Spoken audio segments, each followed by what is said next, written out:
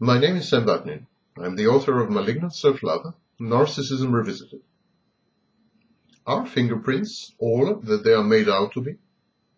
Well, fingerprints were first used to identify criminals in Bengal, India, in the 1890s. Ten years later, the London Metropolitan Police introduced them as pieces of evidence in 1901. The Illinois Supreme Court was the first to rule that fingerprints are admissible evidence.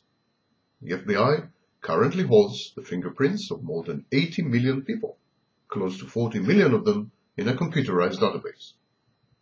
In January 2002, a federal judge in Pennsylvania ruled that fingerprint examiners testifying in his courtroom will have to convince the jury that fingerprints discovered in the scene of a crime belong to a specific defendant.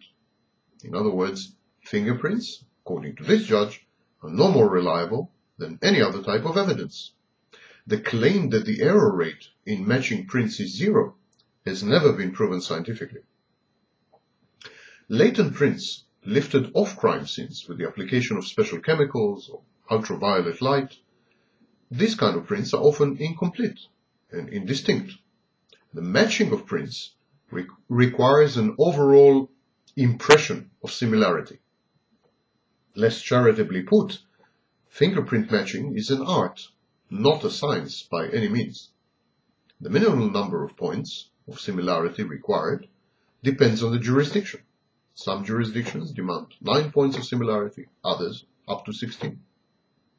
It was Francis Galton, a 19th century statistician, who pegged in 1892 the probability that the prints of two individuals would match at 1 to 64 billion. This calculation was based on 35 to 50 Galton details, features related to ridges in the fingerprint. In forensic practice, only 8 to 16 such points are used. No one knows to calculate the probability of matching fragments of two individual fingerprints, though most fingerprints recovered from uh, crime scenes are partial. In the case of Byron Mitchell, in 1998, two latent prints were said to have substantiated his guilt. The FBI sent the latent prints and Mitchell's inked fingerprints to the laboratories of 53 state law enforcement agencies. Of the 35 that bothered to respond, 14 failed to find a match for one of the two latent prints.